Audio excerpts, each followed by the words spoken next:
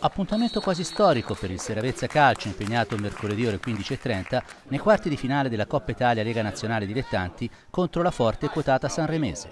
I verdi-azzurri di Walter Vangioni sono arrivati a questo punto della manifestazione dopo aver eliminato negli ottavi di finale il San Donato Tavarnelle a calci di rigore. I Liguri si sono sbarazzati invece dell'Inveruno. In precedenza il Seravezza aveva eliminato il Ghiviborgo 3-0, Grosseto 2-1 e Ponsacco 2-0. Tra l'altro la squadra versiliese reduce dal pirotecnico spettacolare e nervoso 3-3 nel derby con Real Forte e l'auspicio è che la fatica non si faccia sentire troppo nei muscoli e nelle gambe.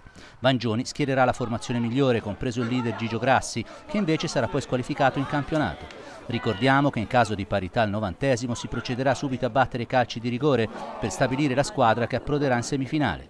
Fischio d'inizio alle 15.30 per espressa richiesta e motivi logistici della Sanremese. Avversario tosto, davvero tosto come testimone al successo 2-1 di domenica scorsa a Savona e relativo primo posto in classifica con 25 punti appaiata al favoritissimo Prato.